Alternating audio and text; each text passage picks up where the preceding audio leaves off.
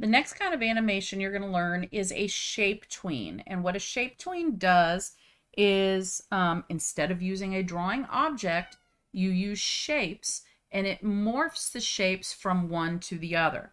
So you can look at this one. I started with um, my name and then I put in three adjectives. And so you can see it morph from one to the other. Okay, so that's what we're going to do here next. So here in your timeline, you are going to click this plus sign to create a new layer. And I'm going to go ahead and call this um, morph because um, I don't know if it will allow shape tween. And that way we don't forget to, to do it. Each time you animate something, it does need to be on its own layer. You can't animate multiple things on a layer. Okay, so we're going to start off. Um, I just want to say that we're going to put this kind of in the middle of our stage um, so that it doesn't interfere with the bouncing ball. And I am simply going to get some text, my text tool. And when you get your text tool, obviously you can see it pop up here in the um, properties panel. Type in your first name, nickname is fine. Um, choose a color, choose a font you like. I will say that um, it works better if you have some kind of a thick font as opposed to a narrow font. Okay, so look at that and find something that you like. Um, I made the font size 50 point, not too big, not too small, but big enough where you can see the um, animation, the morph occur.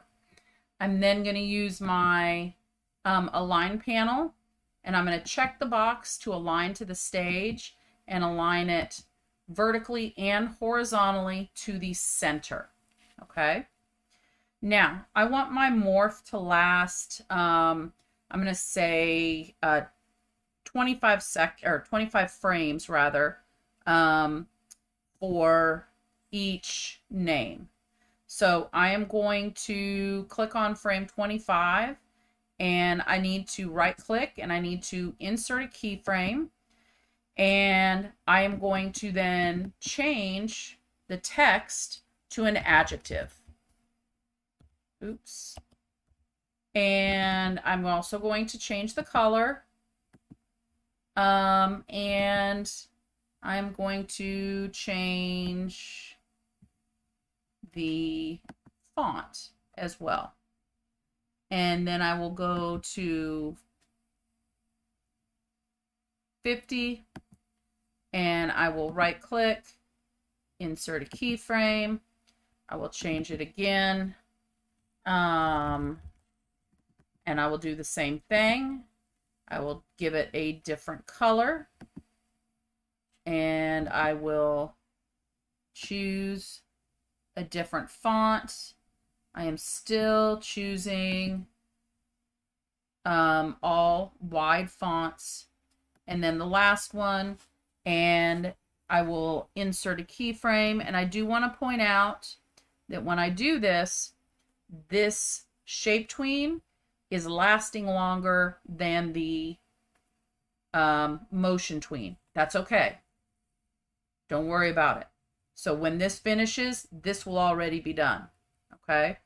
Um, put in a third adjective. Change the color. Um, and change the font for that one as well. Um,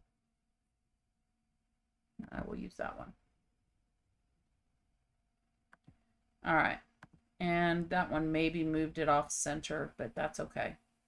Um, I can go back and center it if I need to. Um, and that you, the reason it did that is because I did not center my text box. Um,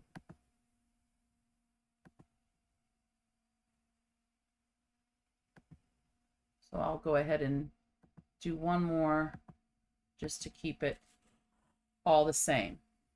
All right, now, I told you that when we do this, it's a shape tween. And right now, this is text. It's static text. We need to make each one of these a shape. So we're going to start here on frame one. Under the modify menu is break apart.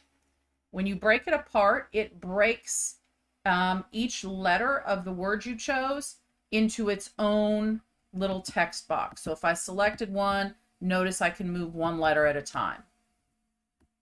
But it's still not a shape. So I need to modify break apart again and it becomes a shape. Notice the keyboard shortcut is control B. There is my shape. See how it tells me that, okay? So what I'm going to do is I'm going to click on each of the other three keyframes. I'm going to control B twice to break them apart into a shape. Okay. Now, if we were to play this now, it just changes. It's not morphing. It just changes. Okay. So if I click over here on the name, that selects all of the frames on this particular layer.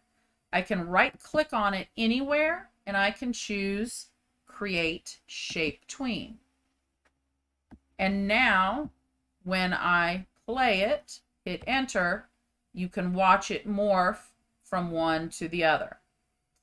Now, what would make this better is if I had done multiple keyframes, done like two of kind, two of the next adjective and two of the last one. Um, so it would hold on the word longer rather than immediately morph into the next one. But to show you how this works, it's fine. So um, you're going to go ahead and lock that layer. I'd go ahead and do a control S to save your document. And then you can move on to the last